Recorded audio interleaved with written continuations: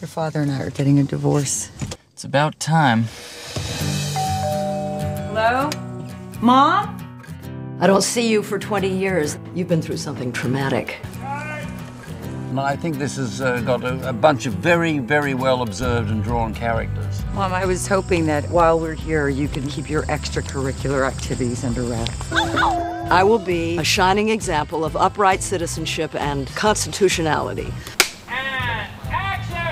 If you're going to do dramas, I like them to have moments of comedy, really. Mom! Good morning. Morning. There's a naked man sitting next to my daughter eating cereal. It's okay, Mom. It's organic. Diane is a lawyer. It's sort of that generational thing where now they want her to lighten up. Jude kind of sees this judgmental, frustrated, very conservative woman. He's immediately kind of attracted to her. You're so busy fighting everyone that you don't realize most of the time they're not fighting you back. Oh, you want me to just let go? Exactly.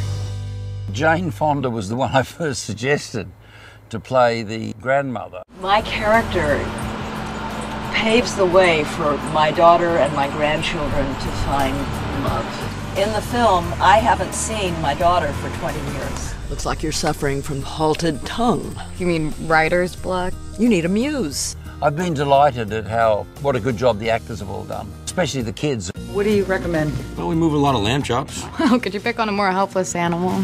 I interest you in some veal. Zoe, as a person, feels a little distant from her mother. Your dad asked me for the divorce, not the other way around. Can you blame him? So it's really cool to be able to have such an awesome figure like that, you know? I've never played a character like this. I'm a hippie, a hippie grandmother. And I have to uh, come to terms with that in this movie. I have to come to terms with the fact that she is very special. I have a lot of me that's like Jake. He's a really, really goofy, fun character. Do you carry a condom? Girls and I, we don't. Oh, you need protection for boys, too.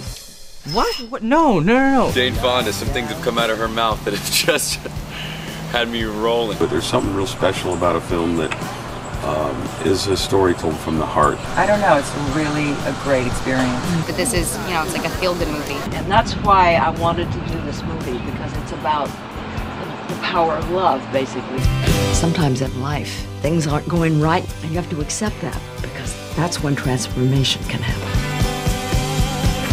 Oh my god,